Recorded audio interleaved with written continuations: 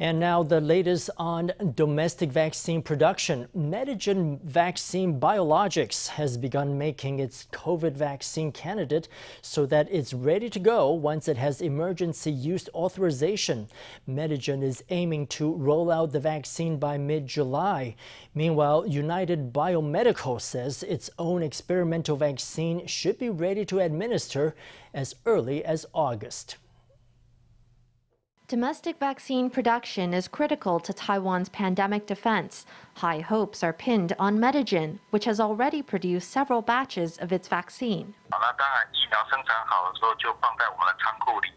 Of course, after the vaccines are produced, we put them in storage. As of late May, we have administered the two test doses to 3,800 subjects. Over the following month, we'll gather data on the vaccine safety. After we collect all the information, we'll unblind the data. If it's all good, we'll send it to the Food and Drug Administration. We're making good progress. If all goes to plan, Taiwan will soon have a third option besides Moderna and AstraZeneca. Medigen is already building a stockpile of its COVID vaccine, which awaits an FDA evaluation. It plans to submit its phase 2 clinical report in early June and to apply for emergency use authorization in late June. That means the vaccines could be available as early as mid July. Meanwhile, United Biomedical plans to submit its phase 2 clinical trial results in mid June and to obtain emergency use authorization in July.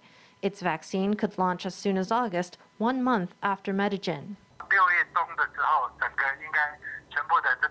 By mid June, all the blood samples from the test subjects should have been sent to Academia Sinica to carry out the relevant antibody tests and assessments.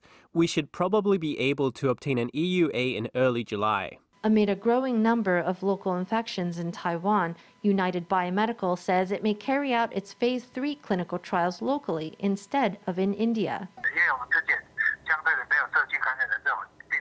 Before, we didn't really have patients who acquired the infection from the community. Now we do. So we could carry out phase 3 clinical trials here. We're able to take two kinds of vaccines and compare how each of them do. That way we can see how much protection our vaccine offers. With community acquired infections mounting, Taiwan could become the phase 3 testing ground for local vaccine developers. If the vaccines succeed in trial, they'll help protect Taiwan's population and stand a better chance of selling overseas.